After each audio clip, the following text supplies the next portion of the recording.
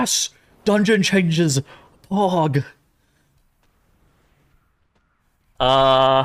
Oh! Devour. Hey, Toll! I got something you can devour.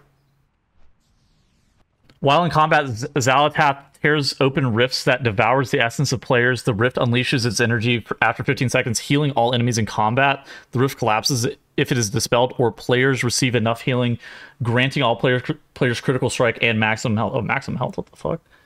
Yeah, you can devour these. Yeah, uh, devour this. Yeah. The okay, how does this work? The rift unleashes its energy after 15 seconds, healing all enemies in combat. Hopefully, this is like not that big of a heal. The rips the rift collapses if it's dispelled. Is this a magic dispel? I wonder if this gonna be a magic dispel. Sounds like sounds like it's gonna be a magic dispel. Where players receive enough healing, granting all the players critical second maximum health. Enemies combat. Okay, cool. Kind of like afflicted, yeah, kind of like afflicted is what it kind of what it kind of reads like. Except the downside isn't that the that you have fifty percent reduced haste. there is no downside actually. There's only an upside. like the downside, I guess, that the enemies get healed. I I hope that this isn't a large amount of healing. I think this is probably fine. Um, I guess that there could be a. I, I hope they don't run into the same issue that Voidbound had, where you would like move mobs and then the rift spawns and it's 40 yards away from you. That could probably be problematic.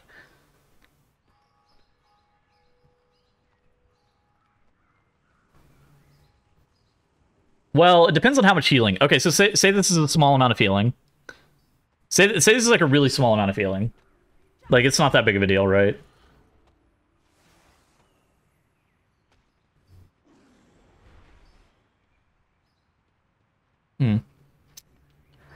I'll I'll refrain from giving a really strong opinion until I play it. I think that there's a world where this can be okay. I think that Blizzard's actually done a pretty decent job of making M plus affixes, uh, the new M plus affixes more tolerable. I think that they're close on Voidbound. I don't think that Voidbound's perfect still, but I think that they're getting kind of close with that one. So I'm I'm I don't really want to be like too overtly negative on something that we haven't necessarily tested fully. I do think that there's a chance that this could be okay. I do think that there's a chance that this could be kind of annoying. All right, Grim Batol. Rive's physical damage vulnerability reduced from 20% to 10%. So this was the... These were the mobs in the first area that you would have to kill with the bombing run with the dragons because these would, like, insta-kill your tank. Rive's damage reduced. These are good changes. Uh, Emerald Umbrasis. Is this the first guy? Hold on, let me... The servers are down. Man. Grim Batol. I think this is the first boss. Skull Splitter's physical damage reduced and Skull, Skull Splitter can now be blocked. Oh yeah, this has to be it. Uh, you can actually cauterize Skull Splitter's physical damage as well. For whatever reason, it's coded as a, a bleed. So, hot tip. Drahga Shadow, Shadow Burn. This is the third boss. Um, increase the recast time of Invocation of Shadow Flame. So, there's going to be less tornadoes, I think is what this means just in general, less tornadoes on the platform. The invocation of Shadow Flame is not the ads, right? Hold on. Pulling up, pulling it up, making 100% sure. Invocation of Shadow Flame. Flames creates flame portals. Oh, okay. Uh, inflicting fire damage to all players within 10 yards. It's this is the ad actually. I actually think that they need to reduce the amount of tornadoes that are on this platform. So this is you're getting less ad spawns, which is actually nice. I think that I think that the pace of this fight was just like too fast. You're getting too many ads and you have too many tornadoes. So I think that uh, this is fine. I think that I would also reduce the amount of tornadoes on the platform. Erudax crushes physical and shadow damage reduced. This is fine. I think that the uh, the biggest thing that they should be looking at on this last boss is first off, there's too many tentacles. They probably need to have the amount of tentacles, or even like cut in a third the amount of tentacles that you're having spawned on this. And I actually wouldn't mind a slight AoE nerf or like a grace period on the circles. There's like a couple of things that they can do to make this boss a little bit better. Depleted anima seeds no longer have an interact condition. These are the two checkpoint nuts. Uh, the anima seeds at the beginning and the nuts at the end. Um, these are the two checkpoint things. I suspect that the wall is going to still have an interact condition then, considering that it's not talked about at all. It might not actually, but uh, so now basically everybody can unlock the checkpoint, which is a good change. I think that that's uh, in general pretty solid. Harvester Spirit Bolt damage reduced. Ward cast time increase. Okay, so Spirit Bolt is uh, the cast from the mobs that at the very beginning that stand with the Droman guy. It's fine. Defenders are the mobs that they've recently changed. Mist Ward is that big purple ground effect. If you've been watching any beta runs, uh, it's like a new ground effect. Cast time increased on that. It, that's solid. So basically, that that ground effect is like large, and it uh, makes the mobs take less damage while they're standing inside of it, and uh, obviously pushes melee out of melee range. It's like a pretty stupid mechanic. So so increasing the cast time on that's nice. Ingra Maloch force compliance recast increased repulsive visage recast increased. So what what does this mean? This means that there's more time to do more damage to the mini boss, and you're going to be taking less ticking damage because because the repulsive visage isn't going to happen until or the force compliance isn't going to happen until later on. Okay, that's fine. This is a good change. I, I think that this fight this fight was one that was like really long because and like you you were having to save lust for it. There was not really much of an option. Um, but by delaying the cadence on force compliance and repulsive visage, I think that these are these are fairly solid. Ooh, force compliance is at the the burn phase. Oh, dude. Okay, I thought that this was I thought this was the okay. So maybe longer burn. Coalescent poison range reduced. I think that this is the large circle that they've added to the boss. I think that this is one of the new abilities that they added to Tredova. Um, basically, she puts this big ass circle on the ground, and melee we're out of actually actually forced out of melee range of this, and tanks were forced out of melee range of this mechanic. So I think that they're allowing you to continue to hit the boss. Arakara, Avanoxx, which is the first boss, is now reset if she's pulled off her platform. Voracious Bites damage, vulnerability reduced from 100% to 50%. Voracious Bite can now be blocked. Increased cast time on alerting Shrill. Uh, adjusted the spawn locations to be more consistent. I would not hate a damage like HP nerf on the the crawlers. Um, I think that these are all pretty good changes, just straight across the board. I, there was a, basically a strat right now where you're kiting the boss completely around the platform the entire time. Um, also, this alerting shrill. So basically, there's two mechanics. There's Gossamer Burst and alerting shrill, and both of them do an insane amount of AOE. And you're pressing a defensive or your group is dying.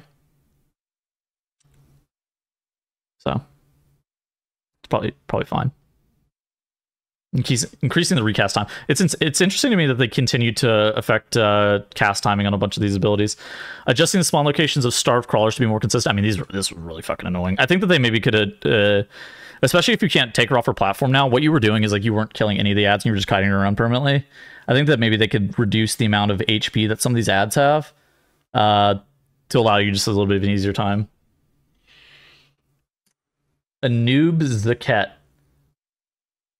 Okay, so this is the second boss, and uh, basically you were forced to have 40 plus yard kicks on some of your people because the web mages would spawn in the middle of like nowhere during the Eye of the Swarm cast.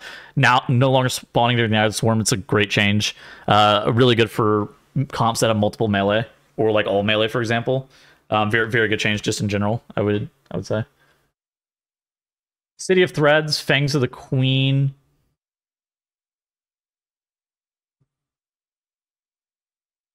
Pacing of abilities reduced, remove Dark Paranoia and Shadow Stump uh, Shunpo from the encounter. Uh, pacing. Okay, so Fangs of the Queen is like the council fight where they go and like high five one another occasionally.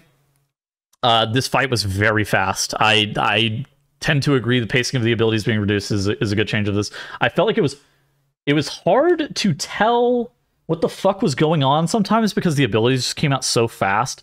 It felt like you were fighting like it, it, was it was an incredibly fast fight. It was like faster than raid boss uh, with some of the pacing that was going on in this fight. Dark paranoia, I know what that is. Like that's a that's a like a circle that if anybody else is standing inside of it, then you get feared. I actually don't know what Shadow Shunpo is. I, I it might be the thing where she like dashes behind you. Um, and then like it, there was like a weird bug where she was like meleeing players, but I actually I'm gonna be straight up with you guys. I don't know what this ability is. That that fight has so many mechanics that it's really hard to tell what this ability actually is. Edna, seismic smash is damage redu- reduced. I think that this is one of the hardest dungeons by far. So this is Stone Vault. Um, this is one of the hardest damage uh, bosses by far. Sm- seismic smash damage being reduced is is nice. It's a dot. She jumps on people and puts a dot on them. Oh, okay. That makes sense. I didn't, dude. I just it's one of those things that just like there's so many mechanics going on. I just actually didn't even know what that was. Skarmorak, Crystalline Smash can now be blocked. Dude, there's so many abilities that weren't able to be blocked. That's so weird. Master Machinist, Flaming Scraps duration reduced, Igneous Hammer damage reduced, Blazing Crescendo now is a pre-cast visual on the lava waves directions. This is a fight that hold on, let me see if I can pull it up. This is a fight that I would describe has like a really players have a really hard time of being able to actually tell what's going on on this boss just in general. Um, it's like I, I wouldn't be able to tell you like whenever we're walking up to the boss i wouldn't even be able to tell you exactly how the fight is supposed to to operate it's one of those fights where like the only way you could even learn how to do it is literally just by playing the fight so i i think that what they probably should do is remove the the cast from the, the speaker altogether i think that that ability could just be completely removed um so what did they say they did flaming scraps duration is reduced so there's a dot that they put on players occasionally. Igneous Hammer damage reduced. That's a tank ability. Um, and then Blazing Crescendo now has a precast visual. So that's uh, this this this ability right here, where the boss is dragging the box towards the middle. Uh, it shoots out these waves out of the middle of it. I am spinning my camera because I'm just pissed that I died. But it shoots waves after the the box explodes, and it always goes towards like the entrance, like the far side, and then both the, the right and left. But like if you if you don't know that in advance, it's like literally impossible to actually be able to tell that. I think that this I think that this fight could use a, a bit more uh, touch up in terms of visual clarity. I think that also the cast is very very annoying on that fight because she she she jumps so far away and like having to kick her over, uh, having to kick the mini boss over and over again is like brutal. Hmm. All pretty good changes, though. I'm not going to complain about any of those. Uh, I'm really interested in seeing this new affix. People, are, I mean, I don't know. You guys, you guys in chat saying it's going to be similar to Afflicted. I don't know if it's similar to Afflicted. Maybe it will be. We'll see. Uh, the dungeon changes are all good changes. Yeah, I think that they can go a little bit harder on some of these changes. No Dawnbreaker changes yet, but uh, I suspect that Dawnbreaker's gonna get hit at some point because that dungeon needs uh, a bit of looking at. And yeah,